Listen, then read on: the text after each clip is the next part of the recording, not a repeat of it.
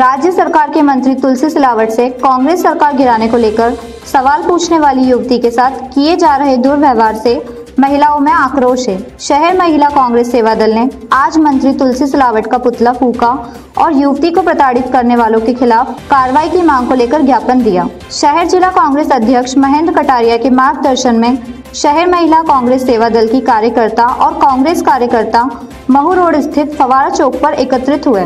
कांग्रेस कार्यकर्ता राज्य सरकार के काबीना मंत्री तुलसी सिलावट से एक युवती द्वारा प्रदेश की कमलनाथ सरकार को गिराकर चुनाव करवाने संबंधित सवाल करने पर मंत्री समर्थक द्वारा युवती के अश्लील मैसेज को सोशल मीडिया पर चलाने से आक्रोशित थे। आक्रोशित कार्यकर्ताओं ने मंत्री तुलसी सिलावट के खिलाफ जमकर नारेबाजी की और इस्तीफे की मांग की। कार्यकर्ताओं ने मंत्री तुलसी का पुतला भी फूका महिला सेवा दल जिंदाबाद महिला सेवा दल जिंदाबाद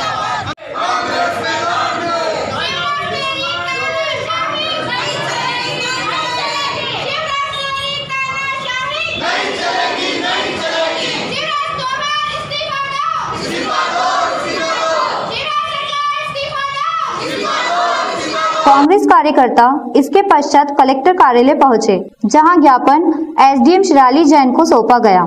इस मौके पर कांग्रेस सेवा दल अध्यक्ष महेप मिश्रा, महिला अध्यक्ष संगीता कांकरिया, श्रीमती निशा विजय सहित बड़ी संख्या में महिला कार्यकर्ता उपस्थित थी।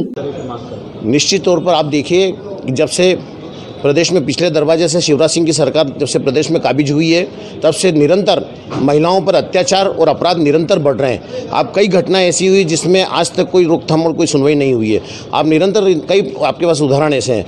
हम इस मामले में कांग्रेस द्वारा इसमें, पूरे प्रदेश में सभी जगह महिला कांग्रेस और महिला कांग्रेस सेवा दल द्वारा इसमें ज्ञापन दिए गए हैं और शीघ्र कार्रवाई की मांग कर रहे हैं और हम ये मांग करते हैं कि इन अपराधों को रोकथाम लगा जाए, महिलाओं पर जो अत्याचार हो रहे हैं निरंतर उसको रोकथाम लगाई जाए और नहीं तो हम इसमें महामहिम राष्ट्रपति से मांग करेंगे कि सरकार को तत्काल भंग की जाए। तुलसी सिलावट मंत्री जो है उनके उनसे एक युवती ने प्रश्न पूछा और उसके बाद उसको ट्रोल किया गया और उसके अश्लील मैसेज वगैरह भी जी जी जी। इसमें कांग्रेस क्या किस तरह की मांग आप देखिए कि एक जिम्मेदार पद पर रहने के बाद माननीय मंत्री महोदय एक छोटे से युवती के छोटे से प्रश्न पर इतने घबरा कर, इतने बौखलाहट प्रदर्शित कर रहे हैं, ये अपने आप में एक अच्छी, स्वस्थ, प्रजातांत्रिक व्यवस्था नहीं है।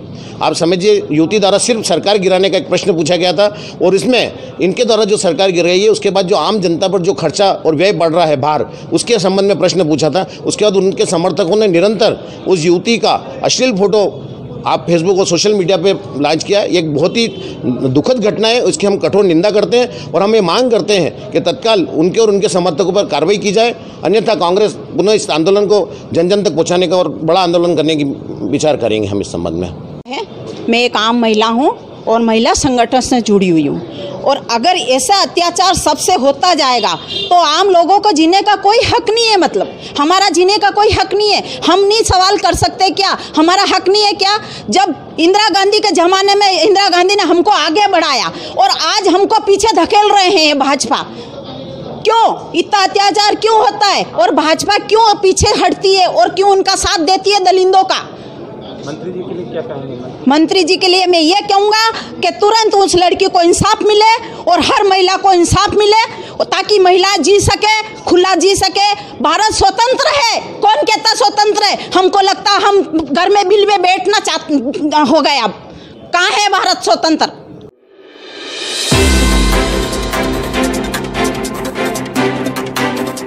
जावरा में हुए दुल्हन हत्याकांड के दोनों आरोपियों के भाजपा के युवा इकाई भाजयुमों से जुड़े होने के बाद ज़िले में कांग्रेस ने भाजपा को निशाने पर ले लिया।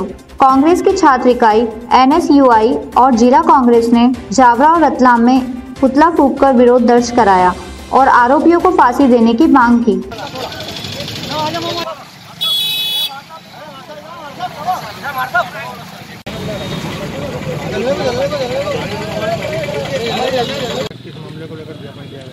कल एक नए दूल्हा दुल्हन की शादी होना थी, जिसमें भारतीय जनता युवा मोर्चा के कुछ सोशल मीडिया के सदस्यों ने beauty parlour vanilla salon station road पर जाकर एक दुल्हन का सरेआम गला काटा। उसके संदर्भ में जो पुलिस ने काम किया, वो 24 घंटे में आरोपियों को गिरफ़्तार किया। उसके लिए तो वो बधाई के पात्र हैं, लेकिन हम इससे मांग करते हैं कि इस तरीके की घोर, बिल्कुल गलत हरकत जो हो रही है, उसके लिए आरोपियों को कड़ी सज़ा देना बहुत ज़रूरी हो गया है। तो हम लोगों ने एन जावरा और रतलाम जिला एन ने मांग करी है कि जल्द से जल्द उस आरोपी को फांसी की सज़ा हो ताकि आगे से ऐसा हरकत करने में कोई दस बार सोचे। जिला कांग्रेस अध्यक्ष राजेश भरावा के मार्गदर्शन में कोट चौराहे पर कांग्रेस कार्यकर्ताओं ने प्रदेश में अपराधियों को भाजपा द्वारा संरक्षण देने का आरोप लगाते हुए मुख्यमंत्री शिवराज सिंह का पुतला जलाया गया। जावरा में हुए दुल्हन हत्याकांड के दोनों आरोपी भाजयुमो पदाधिकारी रह चुके हैं। इसी को लेकर कांग्रेस ने भाजपा पर आपराधिक तत्वों को संरक्षण देने का आरोप लगाया है। आज शिवराज सिंह चौहान मुख्यमंत्री का पुतला दहन किया है।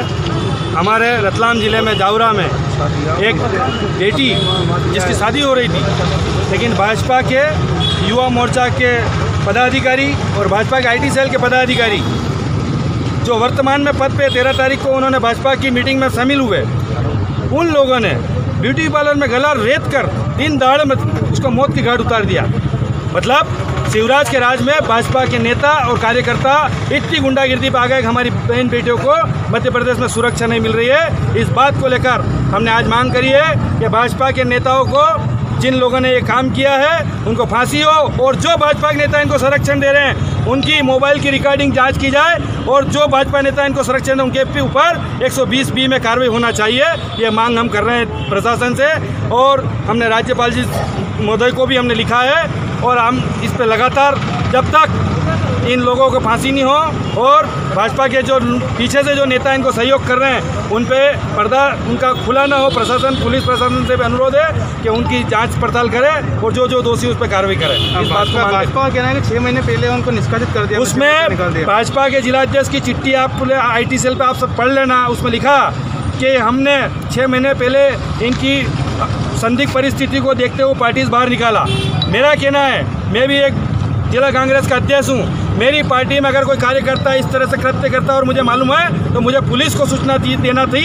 पुलिस को बताना था कि ऐसा काम किया है। लेकिन भाजपा का जिला अध्यक्ष झूठ बोल रहे हैं। तेरह तारीख के दिन वीडियो कॉन्फ्रेंसिंग में उनके रिकॉर्डेड आपके पास फ़ोटो है और हम आपको सबूत दे देंगे। उन्होंने प्रदेश अध्यक्ष साथ मीटिंग करी है और भाजपा में है वो अभी भी वर्तमान में। उनकी आईडी पे भी भाजपा का पद लिखा हुआ है। केवल भाजपा झूठ बोल रही है, केवल भाजपा अपने आप को बचाने में लगी है। इसी तथ्य से जावरा में जिला एनएसयूआई और जावरा ब्लॉक कांग्रेस कमेटी द्वारा आरोपियों का पुतला फूक कर जमकर भाजपा सरकार के खिलाफ नारेबाजी की। एनएसयूआई जिला अध्यक्ष पप्पू चारोड़िया के मार्गदर्शन में पुतला दहन के बाद कार्यकर्ताओं ने राज्यपाल के नाम ज्ञापन सौंपा। ज्ञापन में मांग की गई कि दुल्हन की हत्या करने वालों को फांसी की सजा दी जाए।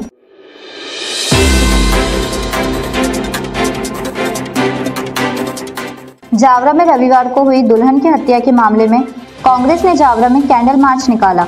इस मार्च में बड़ी संख्या में महिलाओं सहित कई कांग्रेस नेता और कार्यकर्ता हाथों में मोमबत्ती और मशाल लेकर निकले। कांग्रेस का ये मार्च शहर के रतलामी गेट से चलकर मुख्य मार्गों से होते हुए जावरा के घंटागढ़ चौराहे पर पहुँचा, जहाँ हत्या के आरोपियों के लिए सख्त से सख्त फांसी की मांग की। कांग्रेस जिला अध्यक्ष राजेश भरावा ने आरोप लगाया कि दोनों आरोपी भारतीय जनता युवा मोर्चा के पद अधिकारी हैं। और इन्हें भाजपा के लोगों का संरक्षण मिल रहा है।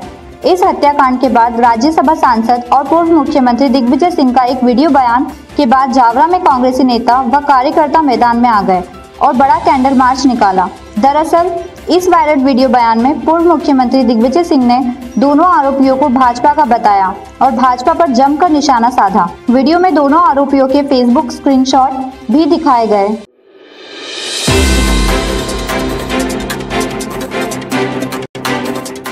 नगर निगम की एक सफ़ाई दरोगा ने नगर निगम में नौकरी लगाने के नाम पर कई युवकों को ठग लिया। ठगी के शिकार युवा अब इस सफ़ाई दरोगा के खिलाफ कार्रवाई के लिए कई बार पुलिस और प्रशासन से गुहार लगा चुके हैं, किंतु अभी तक कोई कार्रवाई नहीं हुई। इन युवाओं का कहना है कि दरोगा की पुत्र सत्ताधारी पार्टी का नेता होने से प्रशासन हम गरीबों की नहीं सुन रहा है।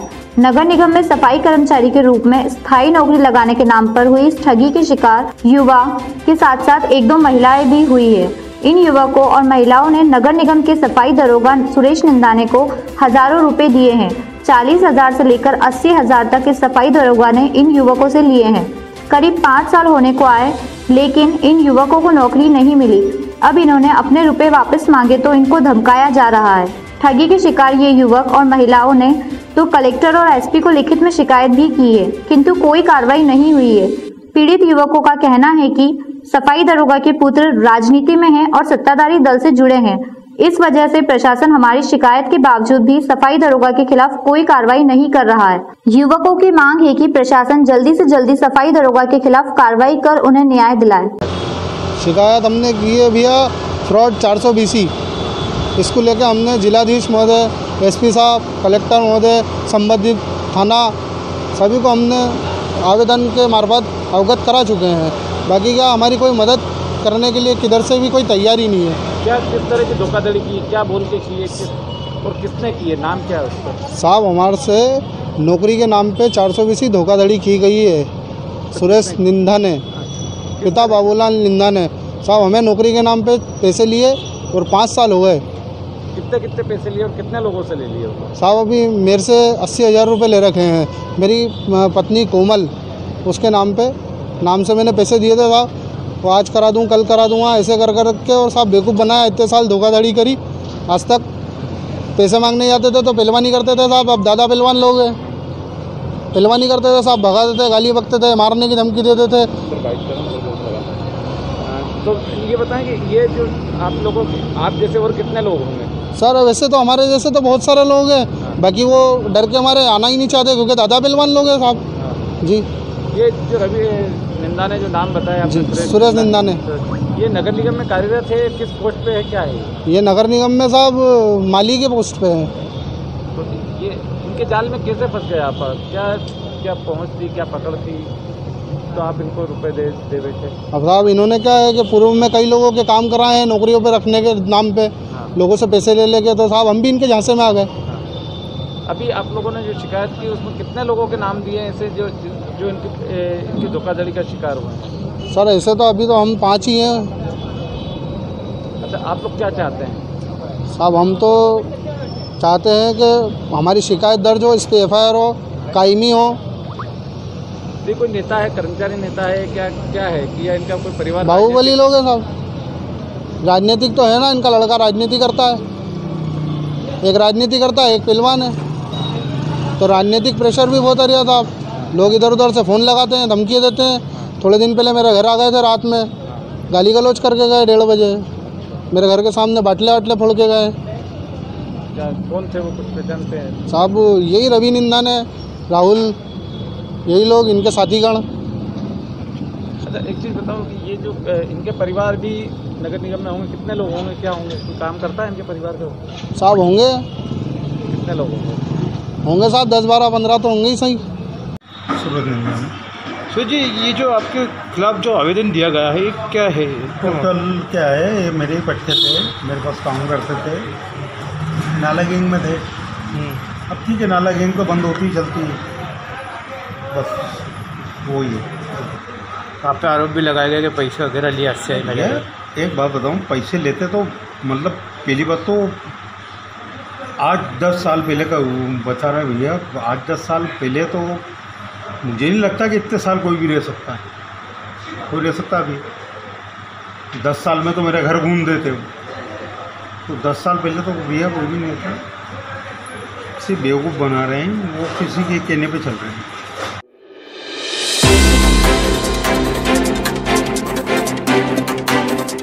रतलाम ज़िले के आलोट में सरकारी विश्राम गृह का गंगा जल से शुद्धिकरण किया गया। यह शुद्धिकरण किया है आलोट के कांग्रेस कार्यकर्ताओं ने। शुद्धिकरण की वजह थी प्रदेश सरकार के मंत्री हरदीप सिंह डंग का विश्राम गृह में रात्रि विश्राम करना। कांग्रेस से बगावत कर भाजपा में शामिल होकर भाजपा सरकार में मंत्री बने सुवासरा के पूर्व विधायक हरदीप सिंह डंग ने बीती रात्रि रतलाम ज़िले के आलोट के विश्राम गृह में विश्राम किया था। मंत्री डंग के आलोट की पावन धरती पर रुकने को कांग्रेस कार्यकर्ताओं ने आलोट का अपमान बताते हुए कहा कि पार्टी के गद्दार के लिए यहाँ कोई जगह नहीं है। गद्दार ने यहाँ रुक आलोट की पावन धरा को अपवित्र किया है। इसलिए कांग्रेस कार्यकर्ताओं ने नीम के पत्तों और गंगा जल से विश्राम गृह का शुद्धिकरण किया है। कांग्रेस कार्यकर्ता कमलनाथ के नारे लगा रहे थे और मंत्री डंग के फ़ोटो पर जूते भी बरसा रहे थे। गत रात्रि में मध्य प्रदेश सरकार के मंत्री हरदीप सिंह डंग भोपाल से सुवासरा जाते समय यहाँ रुके थे। मंत्री जी अल सुबह अपने क्षेत्र के लिए रवाना हो गए। कांग्रेस कार्यकर्ता ने मंत्री हरदीप सिंह डंग को चोर भी बताया।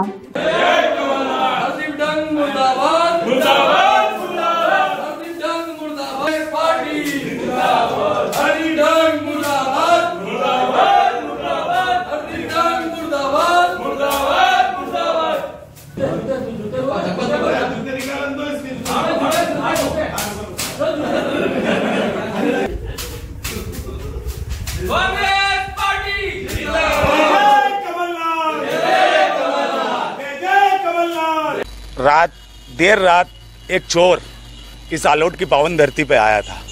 वो रात के अंधेरे में आया और सुबह के सूरज देवता के पहले वो इस आलोट धरती से चला गया। जब हम लोगों को ये जानकारी मिली कि प्रदेश का पूर्व विधायक गद्दार, कांग्रेस पार्टी का गद्दार जिसने कांग्रेस पार्टी के सीने में खंजर गोपा है, पीठ में खंजर गोपा है, वो इस पावन धरती आलोट पर आया था। उसका विरोध दर्ज करने हम रेस्ट हाउस आए हैं, क्योंकि वो रात्रि विश्राम उस व्यक्ति ने इस रेस्ट हाउस में किया था। हमारी आलोट की पावन धरती है। यहाँ पर ऐसे गद्दारों की कोई ज़रूरत नहीं है कि वो यहाँ पे आए और रुके। इसका विरोध दर्ज करने हम यहाँ पर गंगा जल से भी हमने रेस्ट हाउस का पूरा शुद्धिकरण। किया है। हमारे सभी साथी लोग हमारे साथ उपस्थित है। शहर कांग्रेस के माध्यम से युवक कांग्रेस के माध्यम से ये यहाँ पर आज शुद्धिकरण का कार्यक्रम किया गया।